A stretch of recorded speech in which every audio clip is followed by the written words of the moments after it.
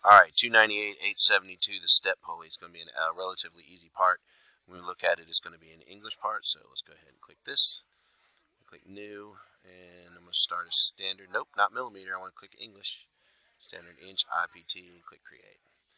All right, so um, we'll go ahead and click that plane to get started.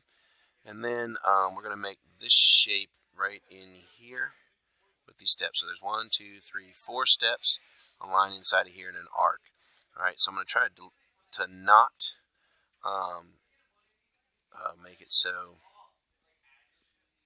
that there's got to have a hole in the middle. So I'm going to put this shape up here.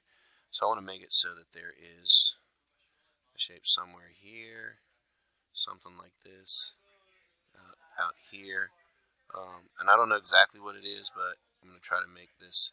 I don't want to do this because if I go here, it's going to automatically constrain those. So I'll go here, go up, go here, go that way, go up. So this is the basic shape of it. Um, not exactly correct, but it's close enough. So I'm going to go to vertical and vertically constrain that. So that should now be blue on there. Yours is probably going to be black if you're using 2020. But um, those should all be 90 degrees. And I'm going to go ahead and start putting some dimensions on here. So let's start with, oh, let's go back in here real quick. One thing I did forget was to click a line and put it right here, and I want that to actually be, um, I want this line to be a center line. Right, so then I can constrain that from the midpoint to the origin point, and let's say, um, so let's go, so let's go ahead and put a dimension on this so it'll be constrained also, and I'm just make that 1.5. Okay, so now we'll go in here and start uh, worrying about some of these other dimensions, 0.75, 0.75, and 0.75, and the total is 3 inches is inches long, so let's go and start with that. So we'll go from here to here and say that that is 3 inches, right? Then this one was 0.75. This one is point, oops, 0.75. This one, 0.75. Alright, so we got those all out there like that. So now we're going to worry about the diameters. The diameter is 270, 275. Um, 0.2, uh, they go, go down about a quarter of an inch all the way down. So we'll start at 2.75, sorry. Go from here to here, from here to here. 2.75, go down a quarter of an inch. 2.5. 2.25. 2. Alright, then the inside ones. Uh, this is also 2 right here, and the one going through is 1. Alright. So if this one right here is 2,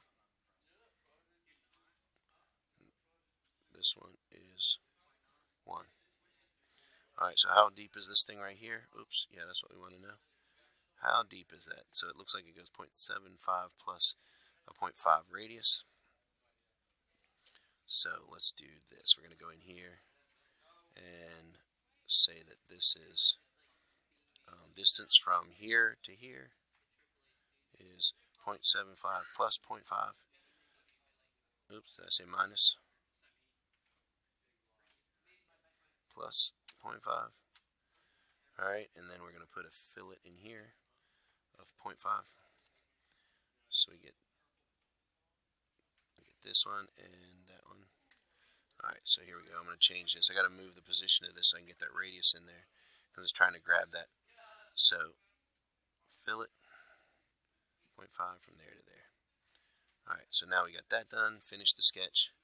And we're going to rotate it, revolve it. Revolve that thing right there. So that's our that's what our part looks like. Alright, so, um, oops. Alright, save.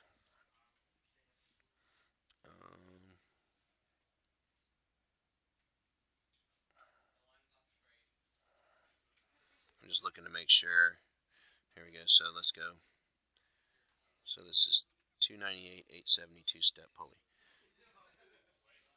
298-8-72 step pulley. Alright, click save. Okay, so now we've saved that, we're ready to move on to making the drawing.